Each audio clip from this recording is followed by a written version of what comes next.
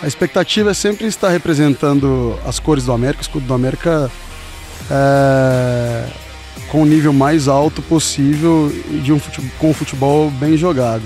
Estamos no, refazendo algumas coisas, recebemos alguns jogadores é, do Sub-17, outros estão chegando no clube é, através da captação e os que já estavam né, completando isso tudo. É, independentemente do cenário, é, o que eu sempre falo é que quando a equipe sub-20 do América entrar em campo, ela entra para vencer. qualquer campeonato que a gente participar, nós vamos participar é, procurando é, chegar no, no, mais, no mais alto é, nível possível. Né?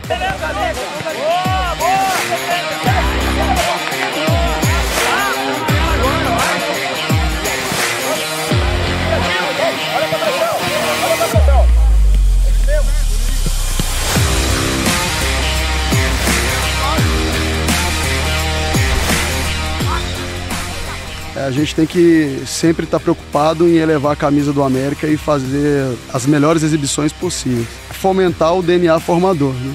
além de estar tá ganhando, de estar tá vencendo, é, é estar né, formando bons jogadores.